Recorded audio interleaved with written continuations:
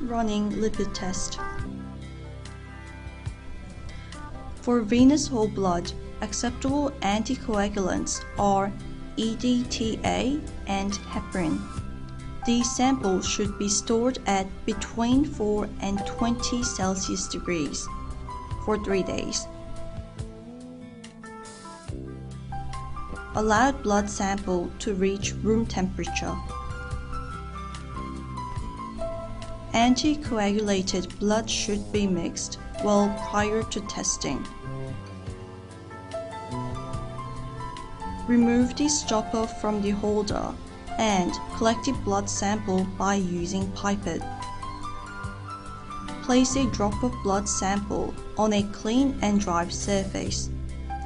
Obtain a blood sample by placing the tip of the capillary rod on the drop of blood sample.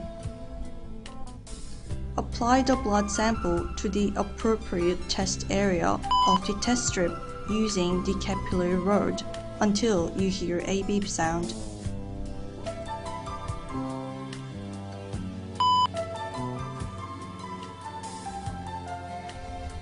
Test result appears in 2 minutes.